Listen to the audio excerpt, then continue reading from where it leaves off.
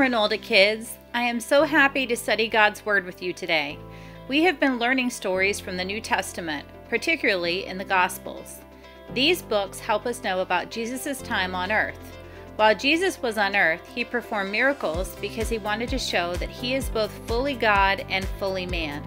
Since Jesus is fully God and fully man, the greatest miracle he can offer us is forgiveness and salvation by faith in him.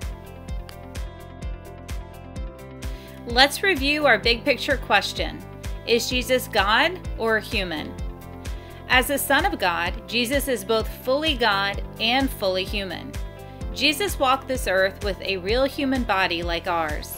He ate meals, traveled, grew tired and hungry, and experienced joy and sadness. He is human like us in every way, except he never sinned. But Jesus is also fully God. Everything that God is, Jesus is too. And because Jesus is fully God, he has the power to forgive sins. During Jesus' time on earth, he performed many miracles. Did you know the Bible tells us that Jesus did so many amazing things that the world couldn't hold all the books about his works? Jesus' miracles proved that he is God. We learned last week that Jesus has all the power and control to stop a storm. Just by speaking, he was able to calm the wind and the waves.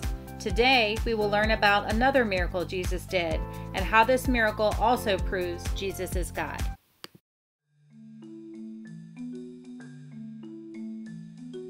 Jesus traveled home to the town of Capernaum. When the people in the town heard that Jesus was there, they gathered at a house to hear him teach. Pharisees and other teachers of the law had traveled from villages all over Galilee and Judea. Some even came from Jerusalem to hear Jesus. So many people came that they stood in the doorway and there was no more room for anyone else. Four men came to the house. They were carrying their friend on a mat because he could not walk. They wanted Jesus to heal him, but they could not get through the crowd. So the men carried their friend up to the roof. They took off part of the roof above Jesus. Then they lowered their friend so that he was right in front of Jesus. Jesus saw that the friends had faith, and he told the man lying on the mat, Young man, your sins are forgiven. When the religious leaders heard this, they thought, Who does Jesus think he is? He is being disrespectful to God. Only God can forgive sins. Jesus knew what the religious leaders were thinking. He said to them, Why are you thinking like that? Is it easier for me to say to this man, Your sins are forgiven, or get up and walk? As God's Son, Jesus had the power to forgive people's sins. But how could he prove that the man's sins were really forgiven? Jesus showed his power on earth to forgive sins by turning back to the man on the mat and saying, Get up, pick up your mat, and go home. The man who had been unable to walk immediately got up. Hey! He picked up his mat and he went home, just like Jesus commanded. Everyone in the crowd saw what happened, and they could hardly believe what they had seen. They praised God and said, We have never seen anything like this. The man who was paralyzed needed to be healed. Jesus did something even greater. Jesus forgave his sins, and then he healed the man. Because Jesus is God, he has the power and authority to heal and forgive. Jesus forgives everyone who trusts in him.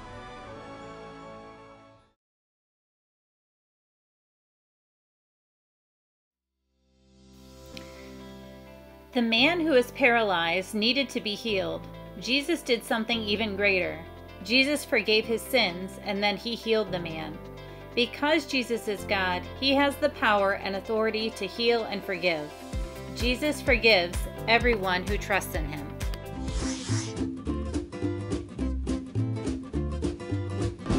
Hi there, I'm Pastor Kevin. It's time for questions from kids. Margot from Glendale, Arizona asks, Can't Jesus just forgive everyone? Do we really need to ask for forgiveness? Oh, Margot, that is a really good question. Yes, God the Son can forgive everyone because He is God. The good news is that Jesus Christ gave his life so that we could be forgiven. He he was born of a virgin, he suffered under Pontius Pilate, and then he laid down his life for us so that we could be forgiven. And he actually took his life up. And after three days in the grave, he got out. He got out and walked on the earth again. And he did all of that so that you and I and all the other listeners could be forgiven of our sins. And I do hope you and all the other listeners believe that. But yes, yes, we need to ask for forgiveness. You know why? Because First John chapter 1 tells us to confess our sins and when we confess our sins, God is faithful and just to forgive us of our sins. You see, sin separates us from a holy and righteous God, and we don't want to be separated from God. So we need to ask God for forgiveness, and we also need to ask people for forgiveness because sometimes our sin affects the people around us as well. Some people think it's okay not to forgive or to even ask for forgiveness, and that is not a good thing. So, how can you help others understand their need to ask Jesus for forgiveness? I would love to hear from you. If you have a question, please email me at gospelproject.kids at lifeway.com, and next time I might be answering a question from you.